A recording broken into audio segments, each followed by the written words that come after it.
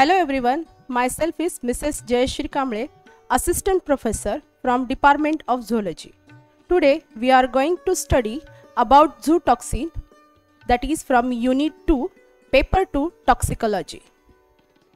Now before starting the zootoxin, we should know what is mean by toxin. Toxins are the substances or a poison produced naturally by an organism either from plant, animal or insect. Now it can be a small molecule, peptide or a protein metabolic products. It can vary greatly in their toxicity that means what? Either some of the toxins are more toxic or some of the toxins are less toxic. Usually these toxins are produced by all plant, animal and insect in the defense mechanism. We can give the examples of such as a snake venom, nicotine, scorpion venom. Then these toxins are of a three type. One is phytotoxin which is released by the plant. Another one that is a mycotoxin which is released by the fungus. And the third one is zootoxin which is released by or secreted by animals. Now come to the zootoxin. Zootoxins is nothing but a poison or venoms produced by poisonous and venomous animal. Now what is the poisonous and what is the venomous animal? Poisonous animal exert their toxic effect when their tissue come into contact with the another animal usually through the oral contact. While the venomous animals produce venom in a secretory gland or a specialized group of cell and deliver the toxin during a stinging or biting act.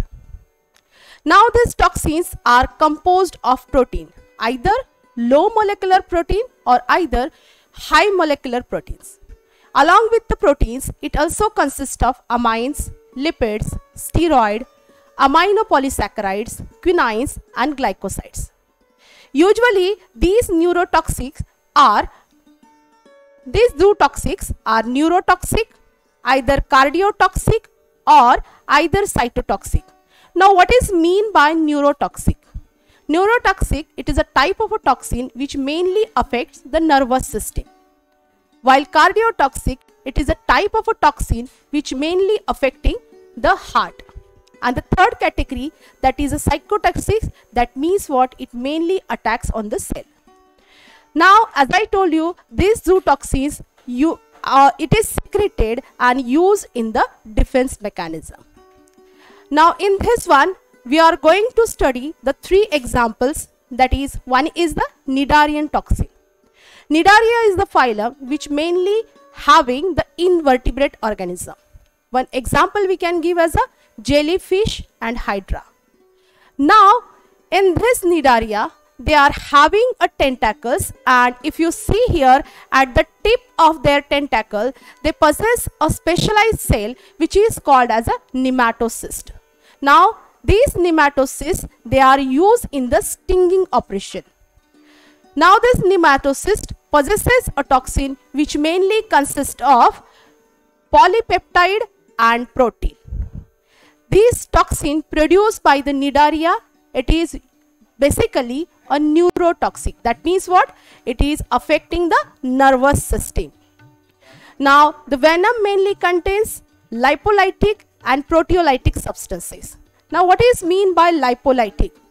Lipolytic means it mainly breaks down the bond between the lipid and proteolytic means it mainly break down the bond between the protein. Now come to the mechanism and stinging effect. Whenever the organism is exposed or attacked by these cnidarians, for example jellyfish, after some time it will show some localized effect such as burning sensation, throbbing pain, redness of skin, shock-like effect. But along with that, it also shows some additional symptoms like nausea and vomiting, muscle cramp, speech can be slurred and frothing with inability to swallow. In a severe condition, paralysis and further death can be seen. Now come to the next category that is arthropod toxin. Here in this one we are going to see the example of honeybee.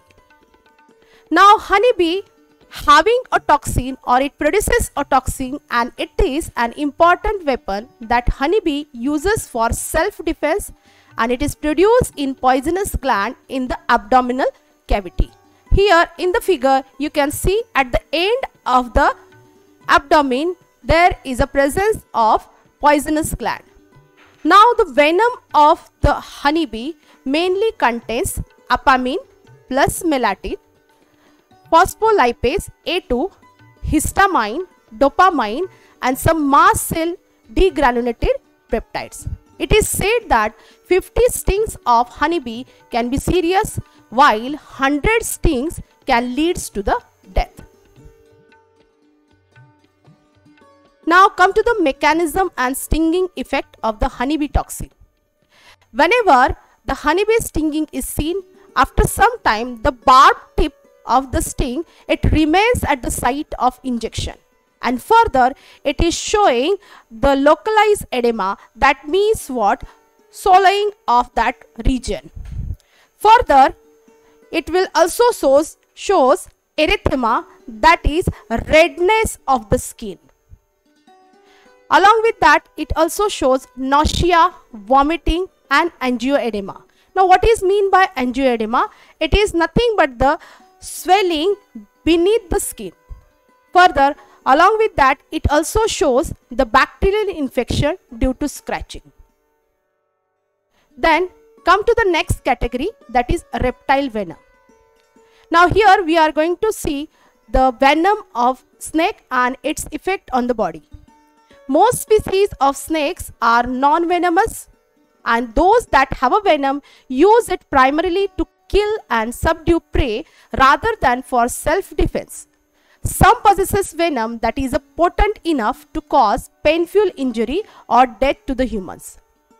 Now the snake venom, it is nothing but a highly modified saliva which facilitates the immobilization and digestion of prey and defense against threat. This snake venom, it is injected by its unique fang and during the bite. Further, some species along with this can spit their venom and they are called as a spitting, spitting cobra. Now, this, this venom which is secreted by the snake, it is secreted by a salivary gland which is called as a parotid salivary gland. You can see here at the back side of their fang there is a parotid salivary gland which contains the venom and it is comes through this venom duct into the fang.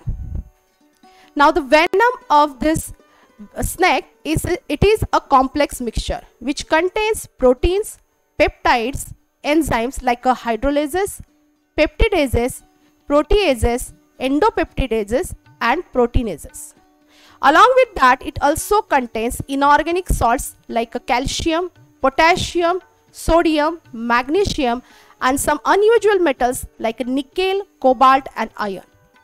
Snake venom is usually a neurotoxic and cardiotoxic. That means what? It is affecting the nervous system and ultimately it is also affecting the heart. In some cases, it is a cytotoxic too.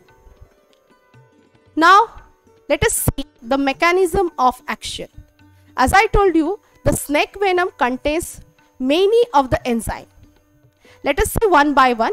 That is first is the protease. Proteases, it is a basically a proteolytic. That means it breaks the bond between the protein and it also carries out the hemorrhage action. Then the second one is hydrolases which mainly acts as a non-cholinesterase. Cholinesterase are the chemical which, which is required for sending the signal into the nervous system. Then the next one is a phosphodiesterase. They are acting as an exonucleotidase and mainly attacks on the DNA and RNA.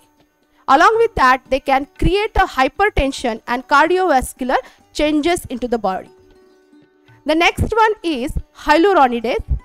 Hyaluronidase permits the entry of other toxins of venom into blood.